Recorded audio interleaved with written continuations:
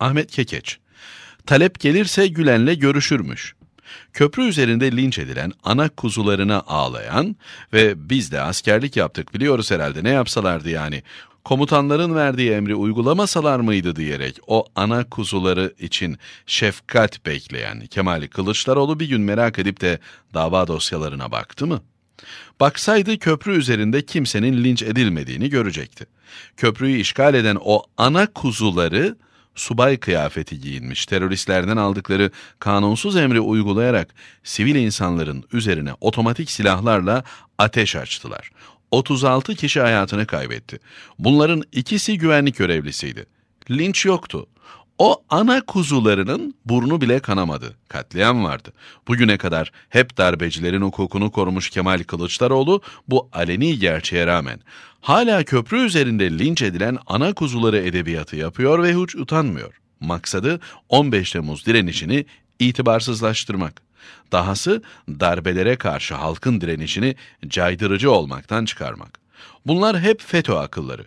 Kılıçdaroğlu da bir FETÖ sempatizanı ve muhibbi olarak bu aklın gereğini yerine getiriyor.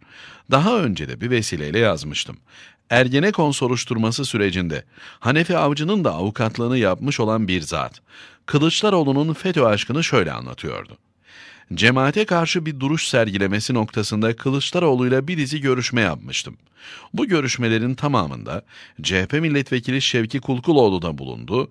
Kılıçdaroğlu'na cemaatin devlet kurumlarını fiilen ele geçirdiğini, özellikle emniyet ve yargıdaki elemanları vasıtasıyla çok büyük bir güç haline geldiğini detaylarıyla anlattım. Bir süre sonra Kılıçdaroğlu 360 derece dönüş yaptı. Bu dönüşün nedenini Kulkuloğlu son ziyaretinde bana anlattı. Ancak partisine ihanet eden adam olmamak için kamuoyuyla paylaşmayacağını söyledi. Anlattığı şeyler CHP'nin kaldırabileceği şeyler değildi. Bende kalmasını istediği için detaya girmiyorum ancak bir gün konuşursa Kılıçdaroğlu'nun o koltukta duramayacağını iyi biliyorum. Kılıçdaroğlu'nun FETÖ aşkına bir başka örnek. Hayko Bağdat Taraf Gazetesi'nde Kemal Kılıçdaroğlu ile bir söyleşi yapıyor. Kasım 2013.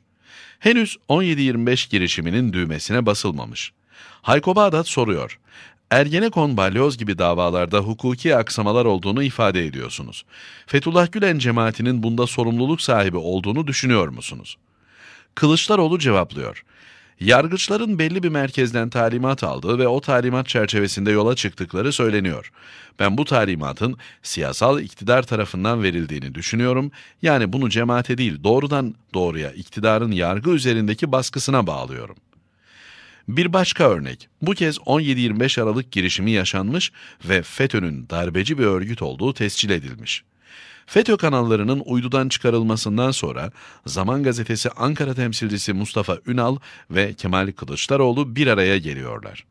Bu bir araya gelişi Mustafa Ünal iki gün sonra cemaat mazlum başlığıyla yazı konusu haline getiriyor.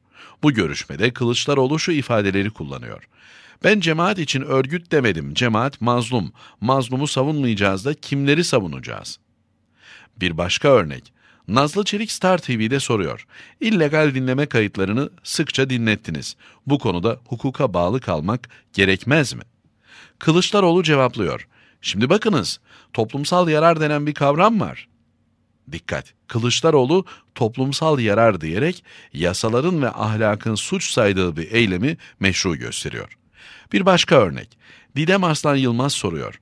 Poliste veya yargıda camianın hakim olduğuna dair görüşler var. Size böyle bir rapor geldi mi? Poliste veya yargıda böyle bir örgütlenme var mı? Kılıçdaroğlu cevaplıyor.